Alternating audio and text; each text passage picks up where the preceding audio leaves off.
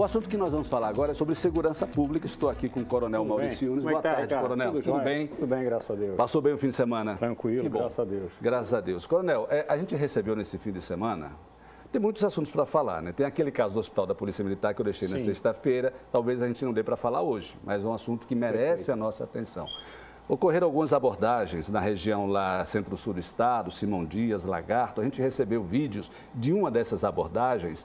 É, eu gostaria que o senhor acompanhasse as imagens, nós vamos soltar agora, é, de pessoas sendo é, abordadas pela Polícia Militar. Tem essa senhora e tem a filha dela e o filho dela que estão gravando o vídeo. Segundo eles e os familiares, os policiais é, agiram com um certo excesso ao levá-los para a delegacia. O senhor acompanhou o vídeo? O senhor chegou Sim, a assistir sim, o sim. vídeo todo? As pessoas falam que, ah, mas só tem dois policiais, nós procuramos os setores da Polícia Militar, eh, a Associação dos Militares, e reclamam, inclusive falam que foi na sua época, como coronel da Polícia Militar, que foram colocados apenas dois policiais em carro. Perfeito. Coronel, essa abordagem foi correta?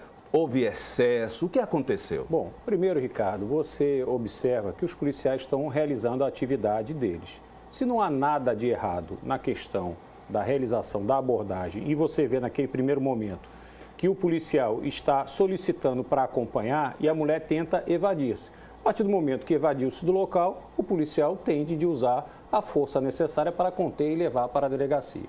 No tocante a ter Mesmo dois- sendo pessoas de bem, não tem, não Ricardo, tem encontrado ninguém nada? sabe o que é pessoa de bem. É muito subjetivo hoje. Você pode ter uma pessoa muito bem vestida na rua e que tenha praticado um crime. Nesse então, caso, o que, é que a pessoa deve fazer? deve acompanhar o policial sem ter Mesmo resistência. tendo certeza de que não tem Se nenhum não problema. tem nada, ele tem que ir para a delegacia. Depois, ele procura os direitos dele, mas não fazer a resistência ao policial. A partir do momento que ele pratica a resistência, ele pode estar sendo preso pelo fator da resistência e não por qualquer outro motivo.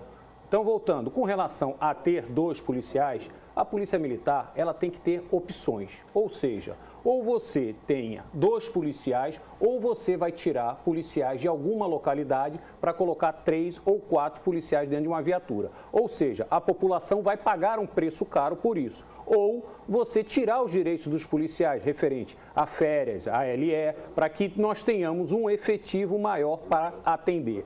A dinâmica do policiamento ostensivo faz com que, quanto maior o número de viaturas na rua, maior vai ser o trabalho preventivo. Por isso, atividade de polícia militar, 90% é prevenção.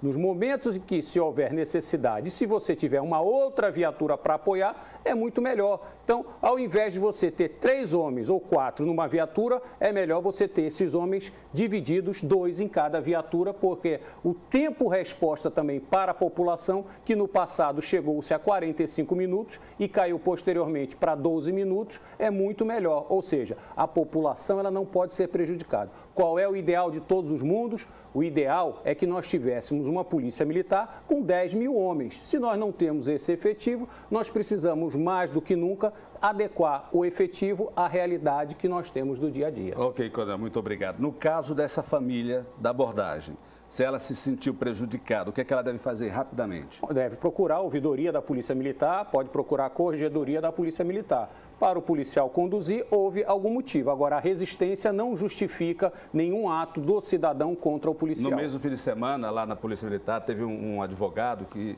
disse também que teve uma abordagem que levou, segundo ele, a informação que levou um tapa de um policial militar. A gente vai acompanhar também naquela mesma região, e eh, o senhor deve estar acompanhando esse caso. De qualquer forma, eh, se houve excesso ou não, essas pessoas devem procurar As ouvidoria. pessoas devem procurar ouvidoria, corregedoria, que são os órgãos dentro, a- a- é, dentro da Polícia Militar capazes de realizar as apurações. Agora, não se justifica a pessoa querer avorar para si uma decisão de resistência e de não ser conduzido à delegacia. Se não há o motivo pelo qual o policial poderá vir no futuro a responder por algum abuso, por ter conduzido de forma irregular. Agora, a resistência não é o melhor caminho para a solução do problema. Muito obrigado, Coronel Um abraço, Maurício tudo bom. Um abraço, uma boa tarde. Quarta-feira a gente está de volta.